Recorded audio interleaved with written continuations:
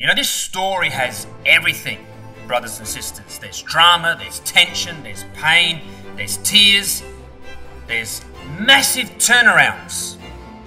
It's all in there in this story. There's no one that changed quite as much as Judah. In fact, if you were to count through the number of characters that have transformations in their lives, I wonder who you could uh, who you could think of. Anyone have anyone in mind that you might be able to just say off the top of your head who had a transformation? Saul to Paul, sort of teamwork there. Saul to Paul, I mean, that's a massive transformation. But you don't get um, much of his early life, do you? You don't really know the first however many years of his life. He just talks about being brought up at the feet of Gamaliel. You don't get to go into the detail of Saul. You certainly see a lot of Paul, but he's definitely one that had a massive transformation. Anyone else that you can think of? Manasseh is, is a huge one. I'd love to be able to do a study on the great transformations of individuals in Scripture, and Manasseh would be on the list. Manasseh, of course, reigned the longest, 55 years, and the first, however long, 50 years, was just chaos and ruin and destruction. And then that last few years clearly was instrumental in uh, helping youngsters like Josiah turn their lives to God. Massive transformation. Anyone else, though? So, Samson? Sorry? In a way, yes. I think there's quite a number of characters who had flaws and they had to learn from them, but they had moments of brilliance and moments of uh, failure. And I think Samson's in that, that sort of category. I'm talking about someone that was over here and then totally is over here. Like there was not a shred of godliness. Now there's not a shred of wickedness. There's not many. I had those three. Maybe Zacchaeus, you know, life of just wanting money and that was all, and then I one day changed his life.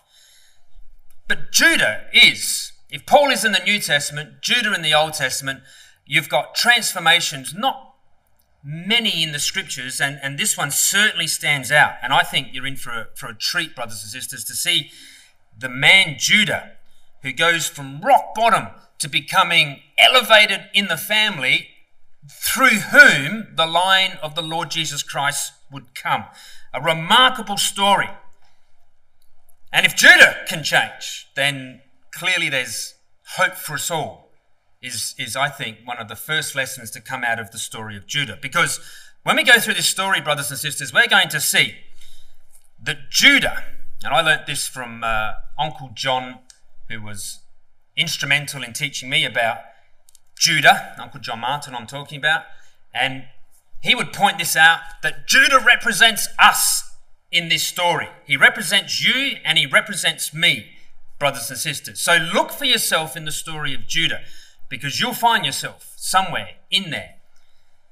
And uh, we're going to see that through the course of this series. His name may mean praise, but it took a long time to understand the meaning of his own name. Who is to receive the praise. And we're all like that, aren't we? A little bit, you know?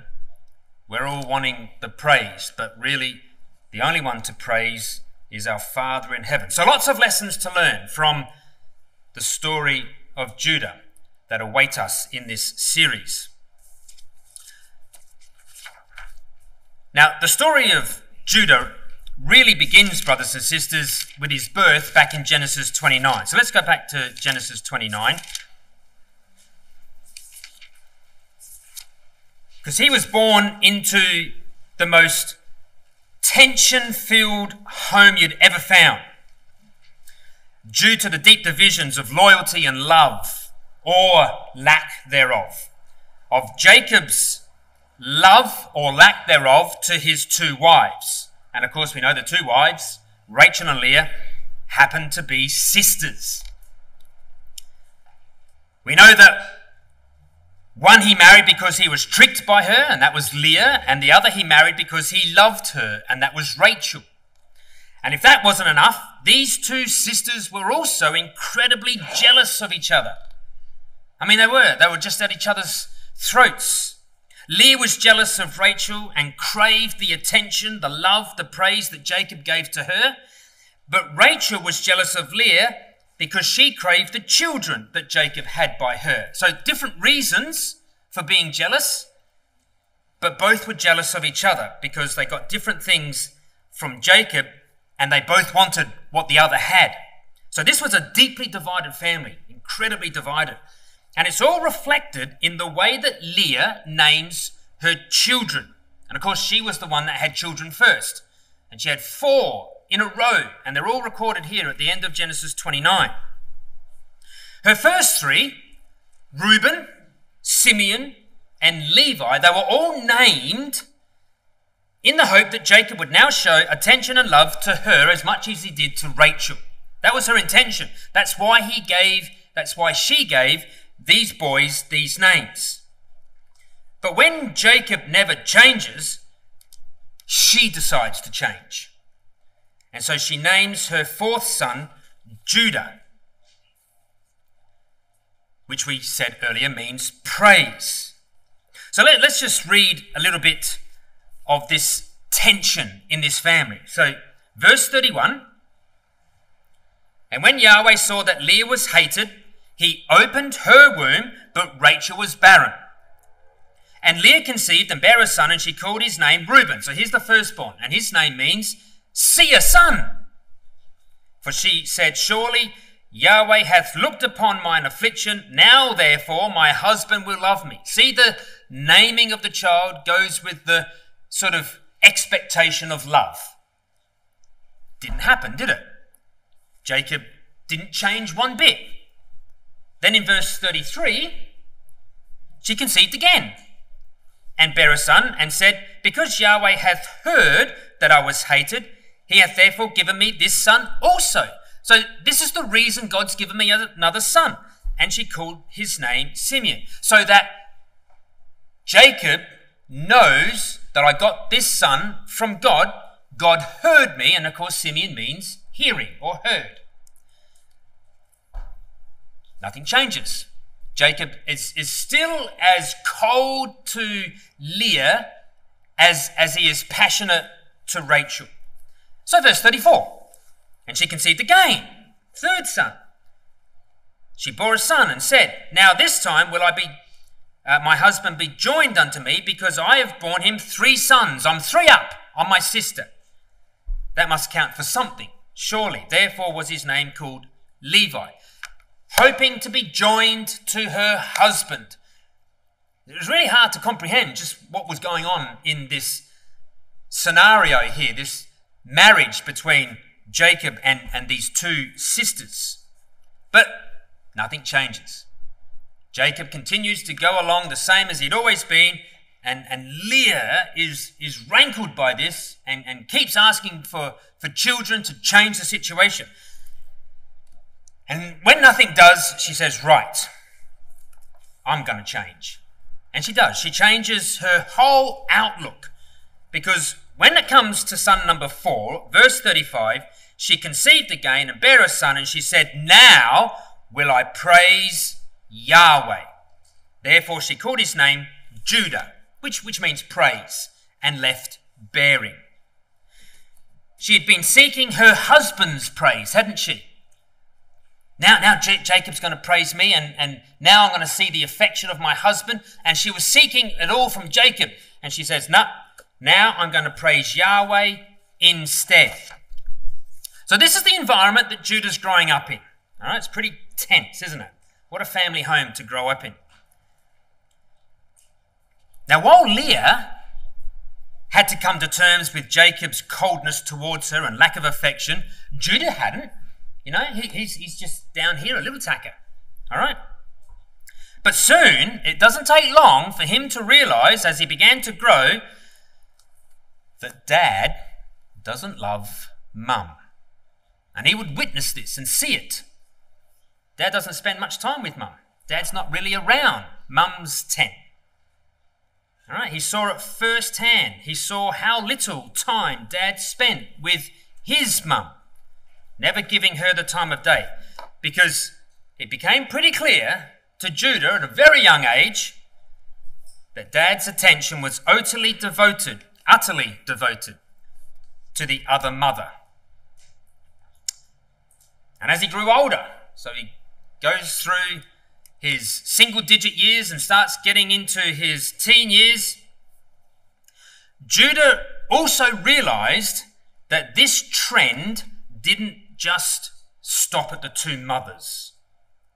All right? It continued on with the children of the two mothers. And so he saw firsthand that dad had very little time for him too. Because dad was obsessed in his love for the brother from the other mother. Joseph and, and in time, Benjamin had far more favoritism than any of the other sons from Leah or Zilpah or Bilhah. And he saw, he watched as dad elevated Joseph in the first instance and loved him above even the four oldest sons, of which, of course, he was one, wasn't he? Now, come over to chapter 37 and let's pick up the story here because we get a sense of this tension and this favoritism in chapter 37 with the opening words of the last section of Genesis, which is, we say, all about Joseph. Well, I'm going to suggest that the story of Joseph cannot be the story of Joseph without Judah. It, really is the story of Joseph and Judah.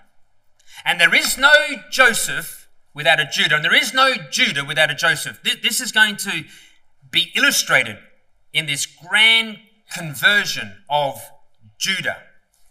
And so, this section in chapter 37, which goes right through to the end of Genesis, begins with these words to set the scene. And Jacob dwelt in the land wherein his father was a stranger in the land of Canaan. These are the generations of Jacob. Joseph being 17 years old. So Joseph's a prime character in this section, no question. He's feeding the flock with his brethren. And the lad was with the sons of Bilhah and with the sons of Zilpah, his father's wives. And Joseph brought it unto his father their evil report. So, Joseph was perceived as the goody two shoes. He was looked at as the one who would tell on all the brothers. So it just introduces the story and, and just parks that for a bit at the end of verse 2, and then says this in verse 3. All right? Now, Israel loved Joseph more than all his children. Imagine Judah hearing those words. All right? All the brethren, actually, but especially Judah. It's not a good thing, brothers and sisters, especially parents and grandparents, when there's such favoritism in the family. It, it doesn't work. And so, of course, we know it didn't work Verse 3 goes on to say, Because he was the son of his old age, and he made him this special coat of many colours. And when his brethren saw that their father loved him more than all his brethren, see how it's mentioned twice? You don't need to know that, but this is how much it's getting under their skin. They hated him and could not speak peaceably unto him. It really grated with all the brothers. But I'm going to show you, brothers and sisters, that especially grated with, with Judah. He hated Joseph. He hated him with a burning passion. He hated him like poison. Because of all the brothers, I'm going to suggest he was the one that was most put out. All right? Now we need to establish this fact. It's crucial to understanding Judah's thinking and standpoint at this stage in the in the uh, in the story. Any suggestions as to why you might think that Judah had every good reason to be rankled by Jacob loving Joseph more than himself? Yeah. That's right. So that story follows through, and down in Egypt, lots of things change. But I want to see if you can read between the lines and have any idea as to why, why did Judah feel especially put out maybe more than all the other brothers because of this special love. Anyone got a suggestion? Just so remember, what brother number is he? He's number four. And traditionally in families, the firstborn is the one that gets to lead the family. And if that's not possible, then the second born, and then the third born, and then the fourth born. But Joseph, what number is Joseph in the family? Anyone know where Joseph fits in the family?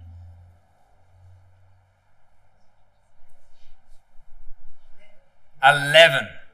I'm a bit older than I was last time I was here and getting a bit hard to hear. So, number 11, is that what you said? So, number 11 gets elevated to the top of the family above numbers 1, 2, 3, and 4.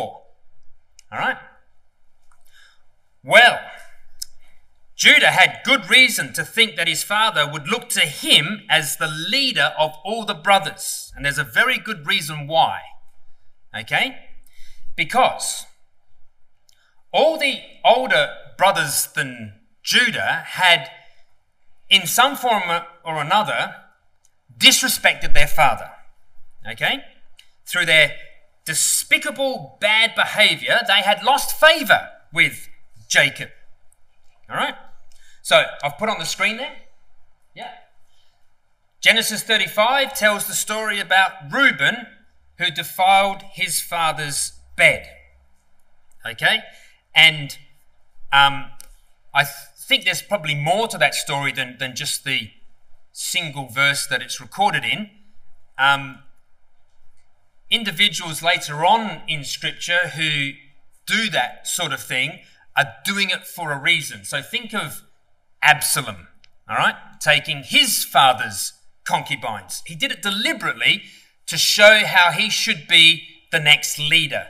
And so perhaps Reuben here is more than just a case of seduction, he's, he's manipulating the family to a certain extent. Whatever it was, whatever the reason was, obviously that brought no favors with Jacob. And so, and so he's written off. Reuben's written off. And all through the record, all through Jacob's life, all through the blessings, Reuben's written off. Unstable as water. Not a good leader at all. Not looking to you to lead the family, Reuben.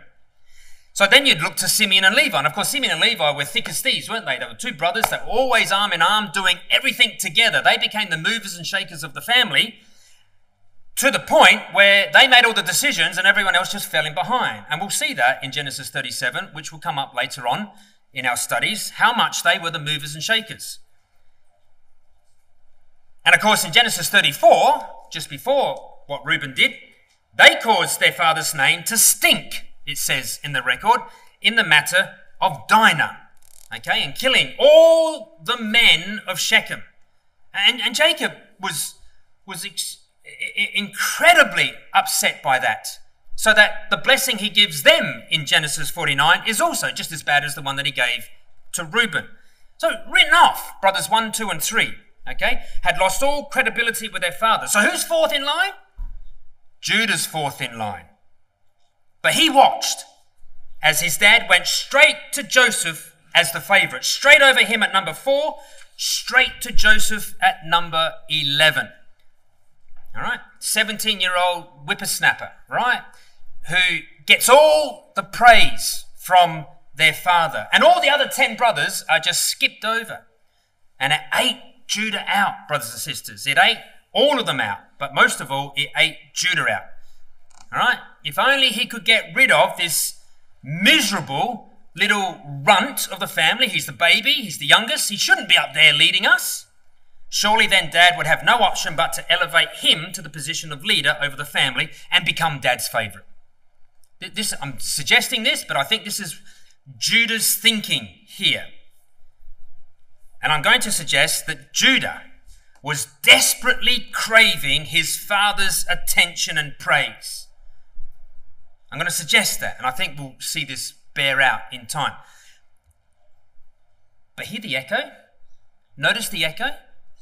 He's craving his father's attention and praise. That is just like his mother had done so before him.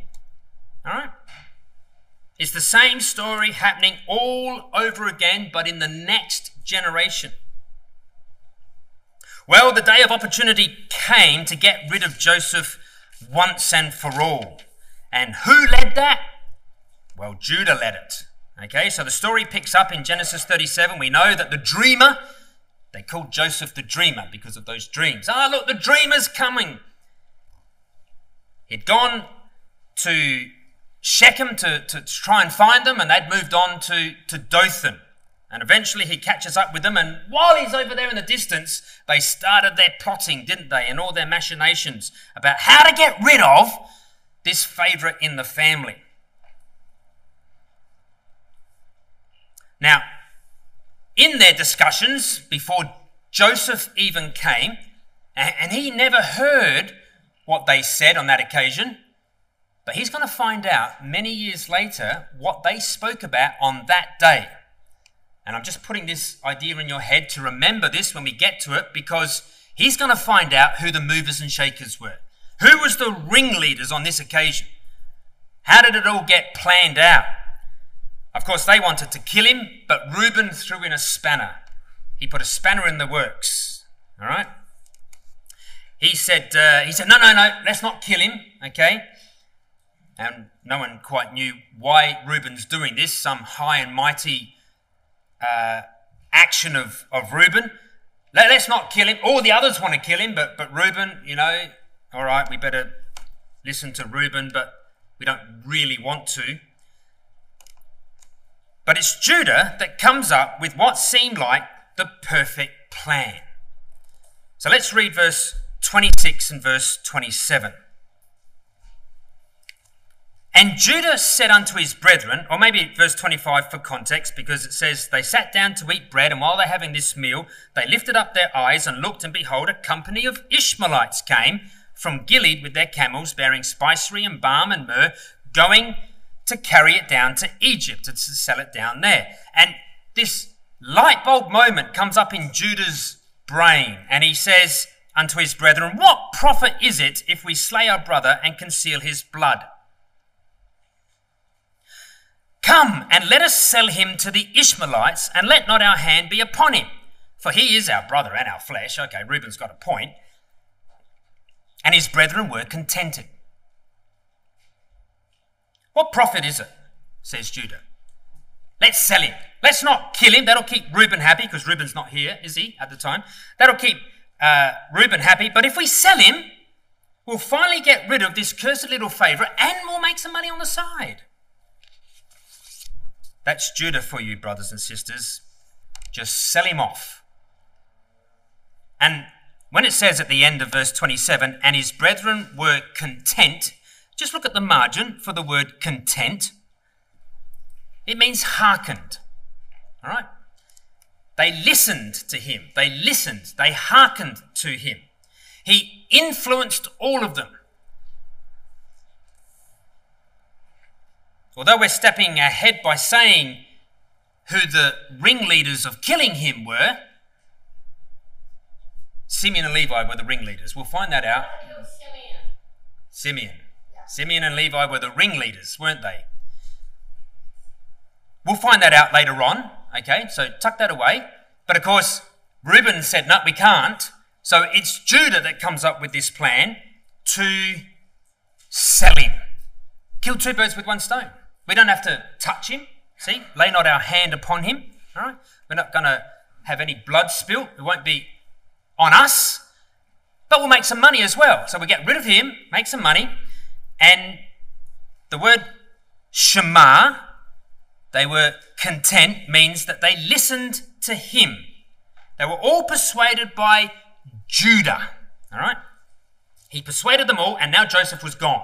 Now you need to just maybe put a connection between content and hearkened, or in the margin, put Hebrew shema and the word to listen, to hear, because that's going to come up again in the story, but probably not for a few weeks. So you might have forgotten what you've just hearkened to tonight. So, good idea to write it down.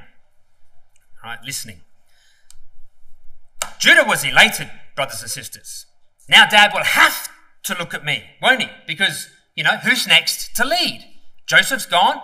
One, two, and three brothers, they're written off. Now it's me that's going to be the rightful leader. But of course, brothers and sisters, this whole scheme backfires spectacularly for Judah. Because when Jacob saw that blood dripping coat and thought Joseph was gone forever, what did he do? What happened to Jacob? All right? He fell into the most severe grief-stricken depression that's that's possible.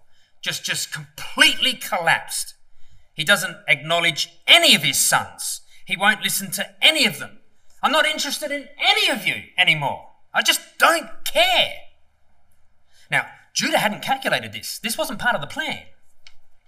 His plan totally unravels. What does he do now? Well, what he does, brothers and sisters, is he runs off, right? He leaves home. He's fed up to the teeth with his dad. He doesn't want anything to do with his father ever again. I'm off. I'm out of here. So, what he does is he puts a big gulf between himself and anything that's associated with his father, including, I would suggest, the promises of God.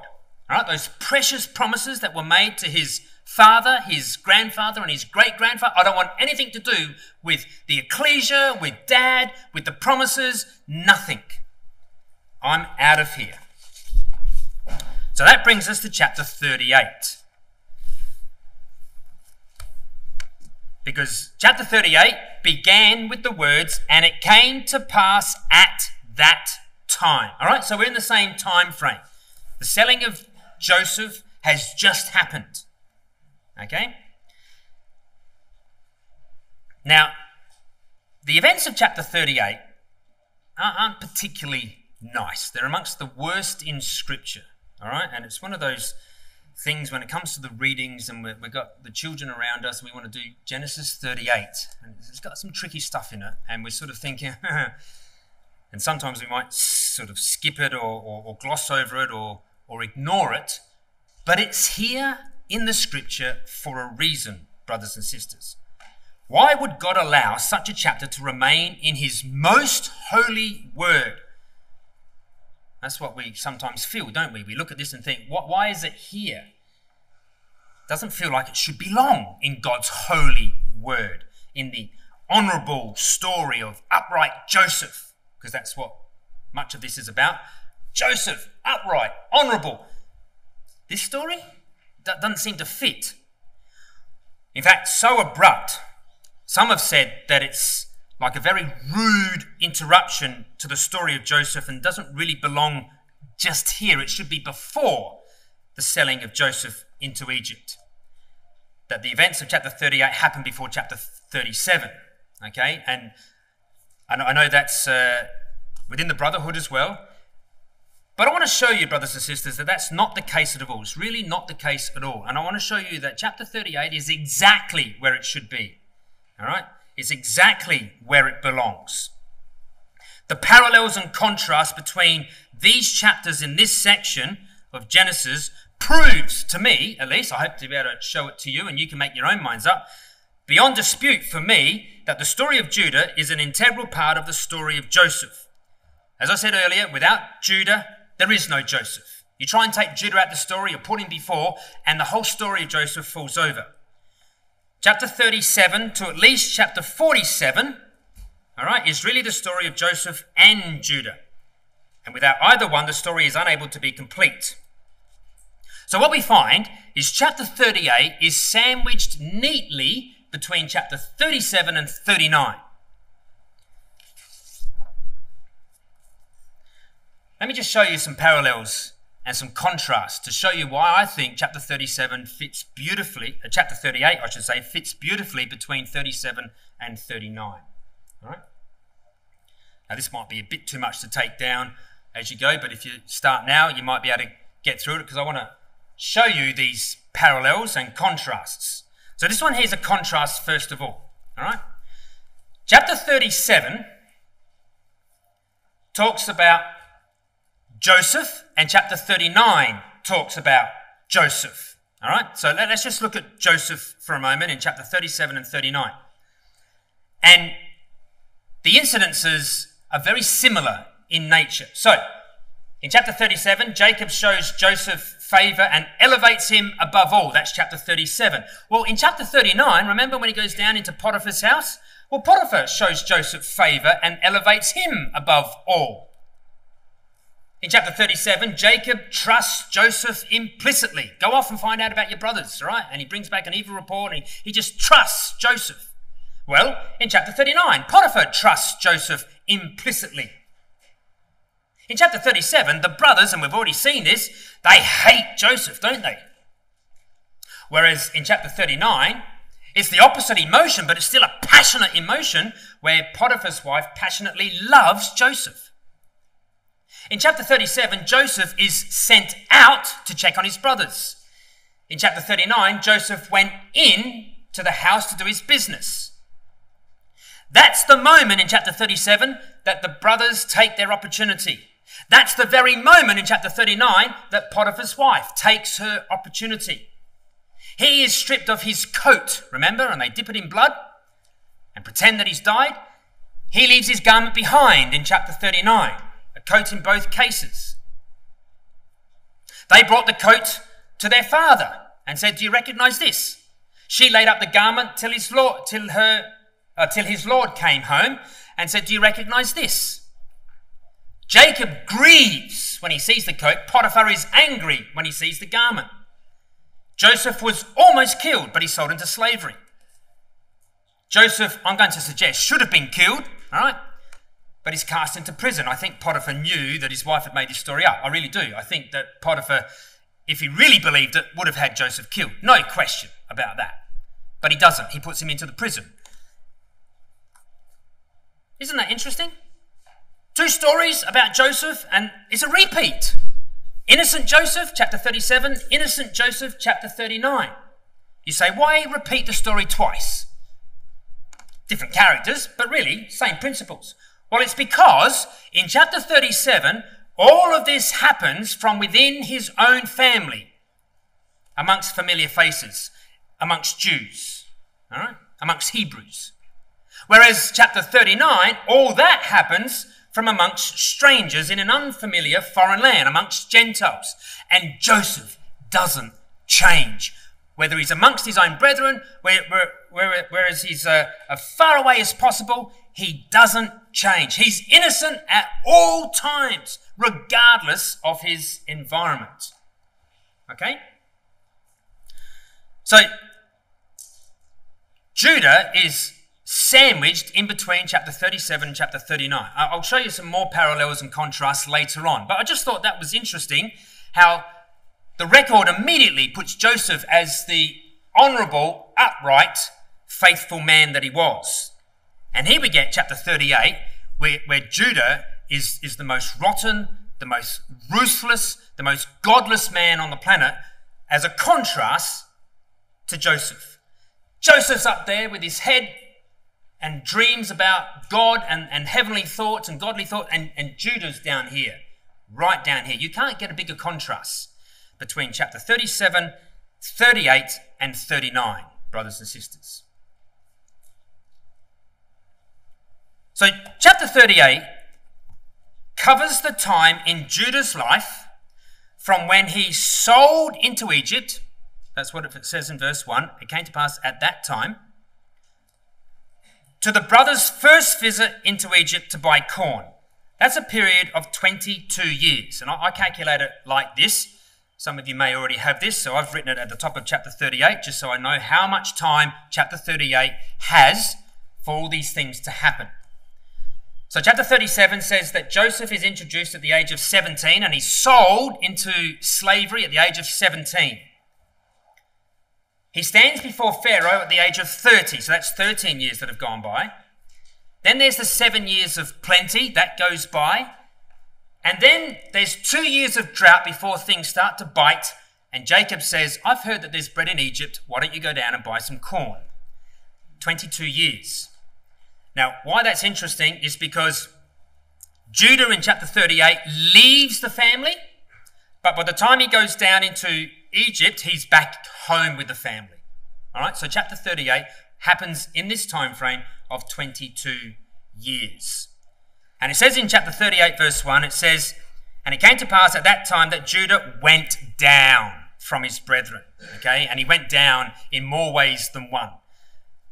He left the ecclesia. He went down spiritually, is really what we're being told here, brothers and sisters. He went down, obviously, uh, literally, but he also went down spiritually. He was fed up with the ecclesia he was in, he was fed up with the ecclesial environment he was surrounded with.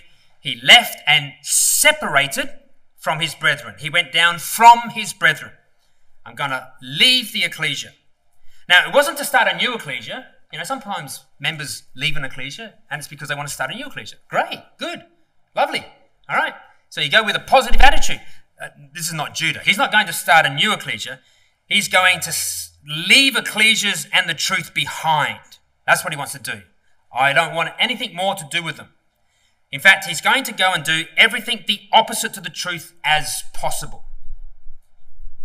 Ever thought like that? Brothers and sisters? At times in your life you just want to pack it all in and, and just, just leave it all behind? I've thought like that. You know, just chuck it all in. Not to the same extent as Judah, perhaps, but, but even so, just, just say, ah, oh, I just can't take this anymore. For whatever reason. You see, as we go through, I said this before, we're going to find that Judah is representing us. And this is the story of our lives, brothers and sisters.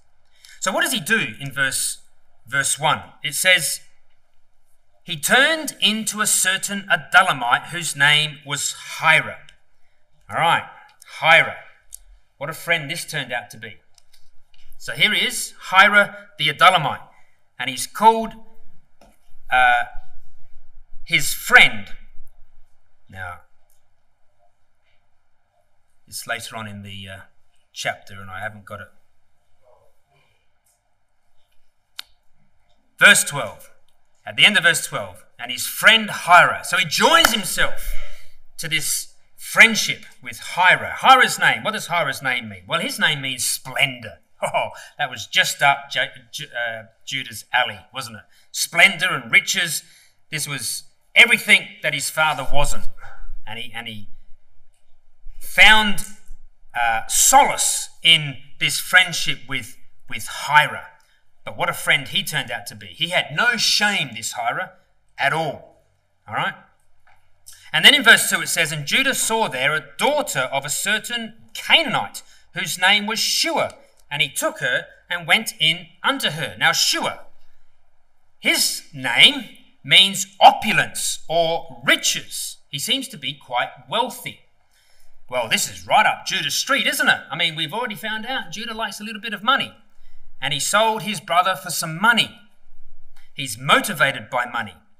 So he became attached to Shua, noticed he's got a daughter, and marries her. But it doesn't say he just married her, it says he took her. All right? And married her. He marries a Canaanite. Now, it's, it's quite a deal to marry a Canaanite, brothers and sisters. Do you remember how upset Rebecca and Isaac were when Esau married a Canaanite? They really upset by that. And so they sent Jacob as far away back to Rebecca's family and said, No, no, marry someone from back there, from my family home. Not, not a Canaanite.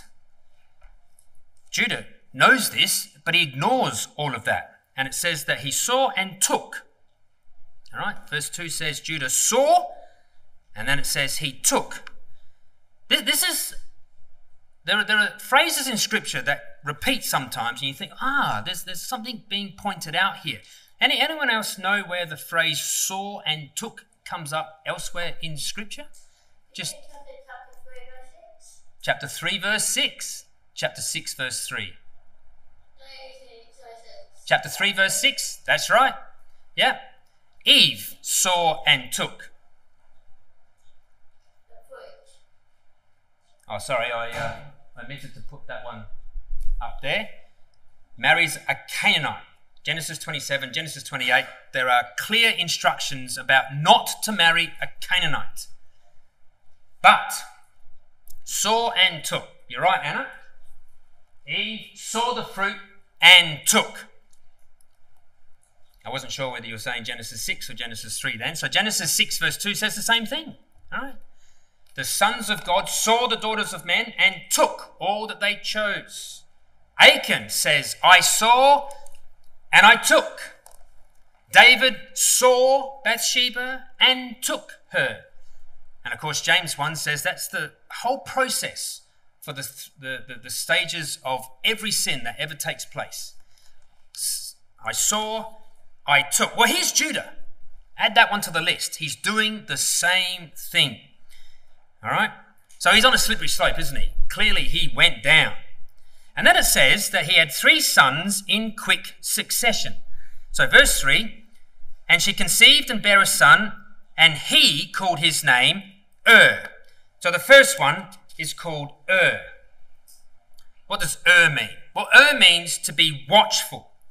It's a bit ironic, really, because Judah was anything but watchful. But then in verse 4, it says, And she conceived again and bare a son, and she called his name Onan. I want you to notice that with the firstborn in verse 3, who called him Ur? It was Judah. He called his name Ur. But then verse 4 says, She called his name Onan. Why are we being told who names the child? Well, it's because the next child comes along and gives us the clue Judah's not around for the birth of his children, only the first one. She calls the name of the second one and the name of the third one. He's not interested. Onan means strong, all right? Clearly, Shua's daughter has high aspirations for her second son. He's going to be the strong one in the family. And then verse 5, the third one comes along, and now we're specifically told that Judah wasn't around because verse 5 says, And she yet again conceived and bare a son and called his name Shelah. So she calls him Shelah. And he was at Kezib when she bare him. Kezib. What does Kezib mean, brothers and sisters? This, this is worth writing in, I think, right next to that verse 5. Kezib means lies, the place of lies. And that really sums up Judah right at this stage of life. He's living a pack of lies. He couldn't be bothered to come home for the birth. Looking at a map, Kezib's about three miles away. It's not far. It wasn't hard to come home, but he's not around. Didn't come back home, didn't name the child, left it all up to her. This shows his total lack of interest in his children. Oh, there's an echo. Isn't that ironic? That's the very reason he left home. Because his dad's lack of interest in him. And yet he's doing the same thing to his own children. It's a salient warning, brothers and sisters, that children grow up learning what you do. They learn your behavior. They can only do what they know. And so he repeats what his father did. And he was rankled by what his father did to him, and yet he's prepared to do it to his own children. He doesn't know any different. So she names the child again, the third child, Shelah. What does Shelah mean? Well, Shelah means petition or request. I wonder what she was petitioning. I wonder what she was requesting brothers and sisters. We don't know, it doesn't tell us, but you wouldn't name that child without maybe having a reason for naming that child, a petition. But maybe she's making a petition here for her husband's love, bit of attention from him, so that he might be home a bit more, help to be a dad to these boys. it's, it's, it's the echo of what happened before, isn't it? It's, it's just all there. That's what Leah was doing to Jacob, wanting his attention, hoping he'd be around a bit more, be a dad to her boys as much as to Joseph. And I wonder how many wives in your ecclesia or in my ecclesia have made that same petition that they wish that their husbands were around a bit more and would be a dad to their children but they're too busy at work or too busy elsewhere. I'm sure there is, brothers and sisters, a very sober warning for us as dads to be there for our children and help them right through. When they, once they get to a certain age, You can't change them then, it's too late. And we're going to see that with these boys here. Far too late. Got to be there right from the early stages. But for Judah, he's at the height of his life, brothers and sisters. Everything is ticking along nicely. He's got a wealthy father in law. He's getting what he wants out of his marriage and doesn't have to worry about any of the responsibilities. He's got what I call the three W's. All right? Not www as in the World Wide Net. We don't even use that anymore, do we? You just go straight to the, uh, the website. You don't have to worry about that. But he's got the three W's. He's got wealth, he's got a wife, and he's having a whale of a time. This is Judah living it up.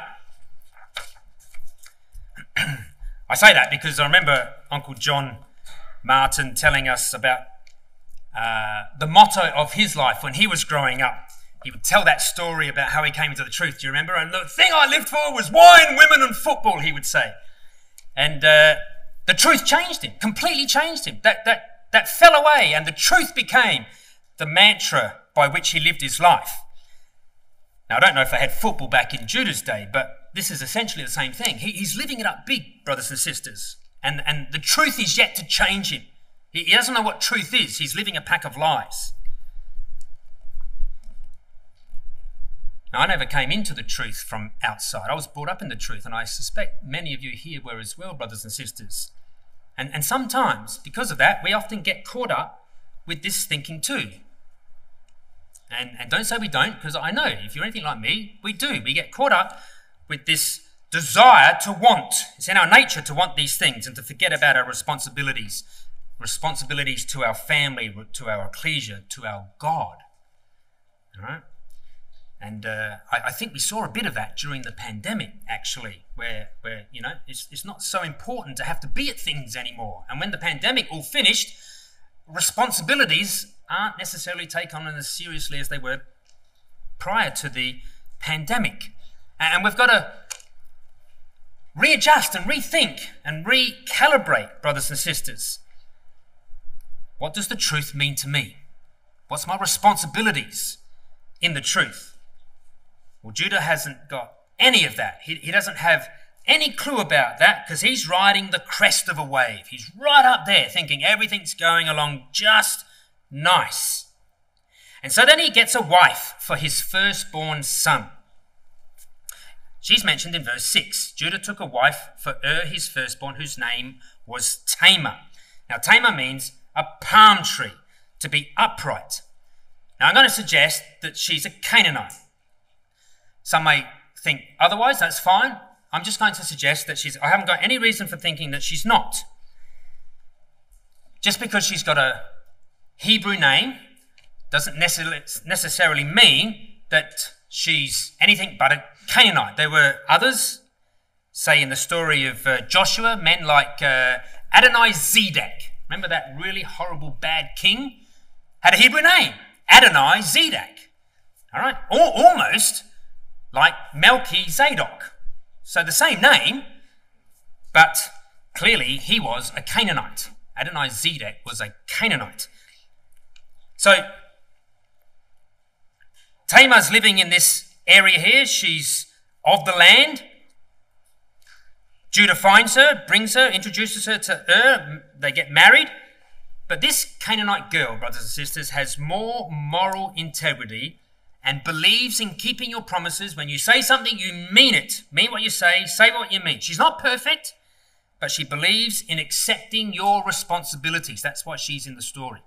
Judah doesn't accept any of his responsibilities. Tamar believes that you should. Now, accepting responsibilities, well, that's clearly something that Judah's firstborn son had no idea about because in verse 7 it says, And Ur, Judah's firstborn, was wicked in the sight of Yahweh, and Yahweh slew him. He was wicked in the sight of Yahweh. How old do you think he might have been? Any guesses, by the way? It all has to fit in 22 years.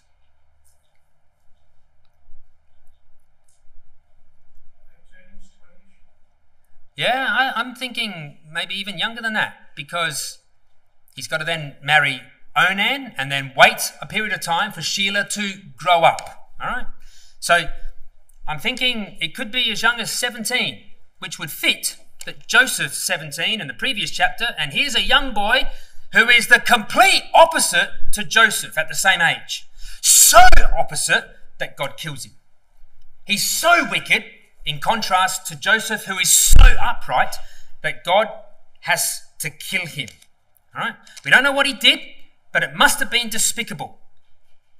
The phrase wicked before Yahweh occurs in one other place in Genesis 13. Genesis 13, verse 13, talking about the men of Sodom, that they were wicked before Yahweh. That's where the phrase comes up first. All right? They were wicked before Yahweh. And in Genesis 19, we know what they were wicked in doing. They were sodomites. Who knows whether there's a connection there? I'm just making suggestions. It had to be something absolutely abhorrent, and God killed him. All right, maybe it's the same here, but clearly he's not treating Tamar with any respect at all. Now, remembering that Judah would end up with the line that would lead to Christ, all right, but who would it be through? So it's going to go through Judah, but of his children, who's it going to go through? Well, it's not going to be through Ur. All right? Obviously not Ur. That comes up later in the chapter, but it's definitely not going to be Ur. All right? God snuffs him out. He's probably about 17 years old. Just think of your own children at that age and, and how wicked Ur must have been. Where did, where did he learn that from? How, how did he become so wicked? He's got a father called Judah. That's why. He's learnt it all from Judah. He's learnt this despicable bad behavior, acting irresponsible from his father. Now, verse 8 says, Judah said unto Onan, Go into thy brother's wife and marry her, and raise up seed to thy brother. So, this word marry, all right, is the Hebrew word yabam, which means to perform the duty of a husband's brother. It's called the Levirate law. All right, Levirate. I used to think Levite law, you know, but actually the word Levite's not there. That's not nothing to do with it. The word Levirate is actually a Latin word. The Latin for uh, brother is levir. All right, so Levirate law, brother's law. Marry the next brother so that you can raise up seed to the first brother so that their name die not out. So, so the Levirate law was way back there before the law, but it got included in the law in Deuteronomy 25. It's only used three times, and the other two are there in, Genesis, in Deuteronomy 25. But Onan wanted none of it, brothers and sisters, because in verse 9 it says, Onan knew that the seed should not be his, and it came to pass when he went in unto his brother's wife that he spilled it on the ground, lest that he should give seed to his brother. He despised the whole idea. When it says that he went in unto his brother's wife, literally it means whenever he went in. All right, so this was something that occurred multiple times. And God's watching, and God hated what he saw. In essence, what Onan was doing was treating his wife as a harlot. He demeaned her, despised her, no respect for her whatsoever. All right, so we should be treating, we should be teaching our young men, our young boys, our young men, that when they grow up, they need to treat girls with wholesome respect. You win them over that way, you'll keep them forever, but wholesome respect.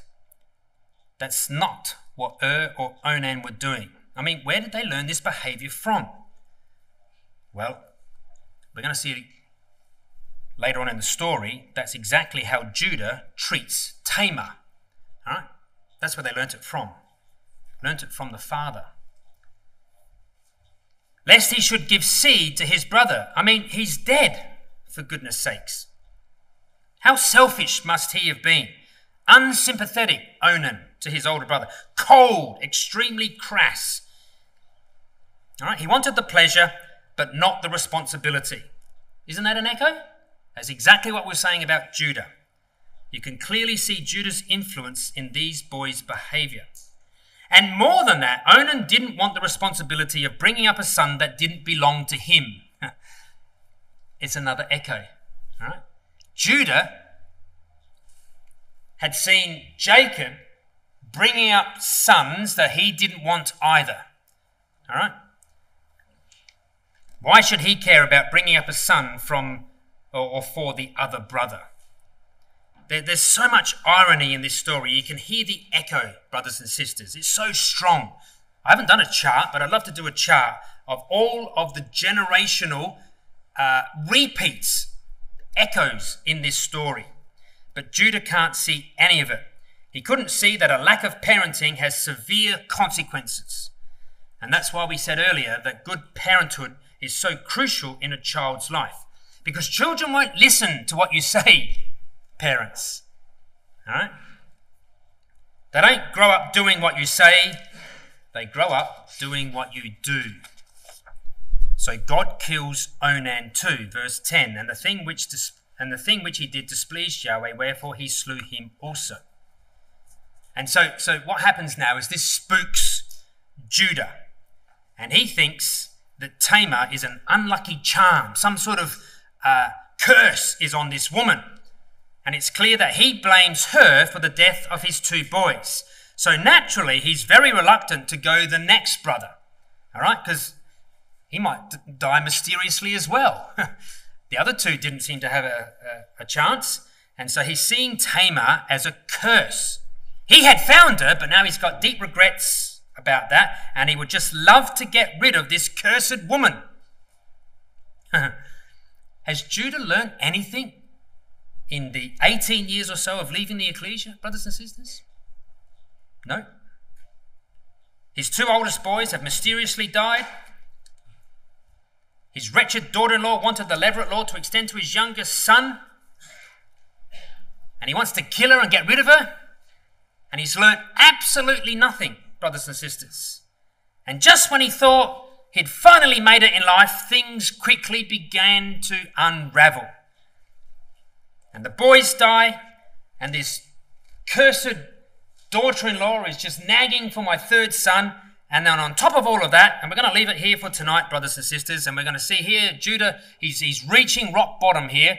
We're going to leave it in verse 12 or verse 11. It says, Then said Judah to Tamar, his daughter in law, Remain a widow at thy father's house till Shelah my son be grown. For he said, Lest peradventure he die also, as his brethren did. And Tamar went and dwelt in her father's house. And in the process of time, the daughter of Shua, Judah's wife, died. So all that three W's is now starting to all unravel. And Judah's going to find himself at the bottom of a big, huge hole. And he, and he can't go any further down, brothers and sisters. We're, we're going to pick up the story from, from there. I'm, ho- I'm thinking that clock's right up the back there. Is that since. Uh, yeah, ahead by a couple of minutes. Um, now it's probably an appropriate place to, to stop for now, I think, because um, the next part of the story is a, is a section. We just read to verse 26 because we wanted to get a feeling for the, for the story, but we're going to be picking up this next time and seeing this go through, we won't be dealing with Joseph, of course, but we'll go over to chapter 43 and pick up the story as Judah starts now coming out of this hole. It's going to be a long road out, but, but God's got hopes for this man. And even in the depths of despair, and right down there at the bottom of the hole, God hasn't lost sight of Judah, even though Judah has lost sight of God. And so we're thankful, brothers and sisters, I am at least, that Judah is found in the Bible. And I think we're going to see some wonderful lessons come out of the life of Judah through this series.